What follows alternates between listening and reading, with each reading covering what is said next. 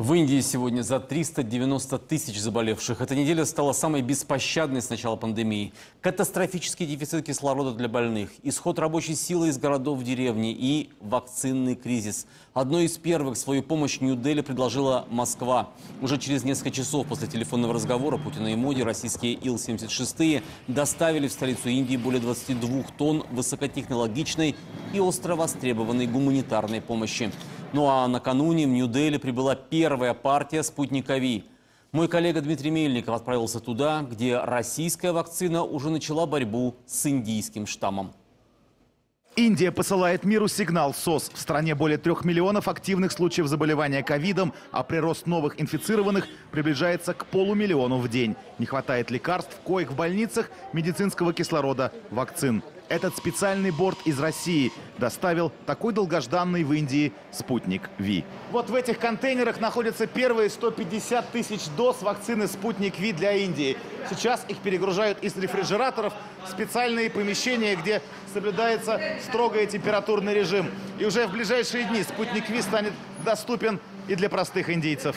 Одна из самых эффективных вакцин от коронавируса в мире. Спутник Ви способен защищать и от индийского штамма. В первую фазу в Индию привезли уже готовый препарат. Затем в течение этого месяца начнутся поставки сырья для производства. И, наконец, к началу лета Индия запустит и собственные мощности для изготовления спутник Ви. Позвольте мне выразить слово благодарность правительству Российской Федерации. 22 тонны гуманитарного груза из России, которые в середине недели прибыли самолетами МЧС, тоже лишь первая часть помощи от нашей страны. Неожиданной и даже оскорбительной для Нью-Дели оказалась позиция Вашингтона, называвшего себя главным союзником Индии. Когда ежедневный рост числа заболевших здесь стал набирать критические темпы, США, как это бывало не раз, запретили экспорт компонентов для изготовления вакцин.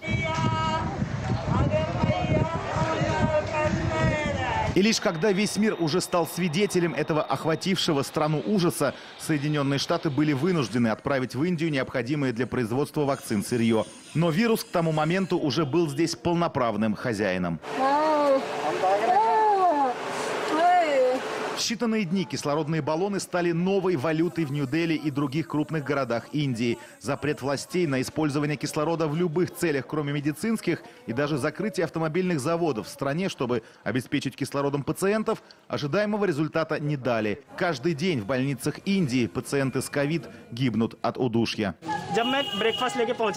Когда я вошел в палату, мой отец лежал там уже мертвый. Позже медсестра сообщила мне, что в тот день в больнице кончились запасы кислорода. На людские трагедии моментально среагировали черный рынок и мошенники. Людей обманывают, оставляя и без денег, и без необходимого кислорода. Огромное количество людей обмануло меня, предлагая купить у них баллоны с кислородом. И мой отец так и не дождался помощи. А на кремационных площадках в Нью-Дели закончились запасы древесины для традиционных погребальных костров. Для сожжения умерших от ковид власти индийской столицы разрешили вырубать деревья в парках. На этой неделе полиция Нью-Дели обратилась к властям города с просьбой выделить дополнительные места для кремационных площадок.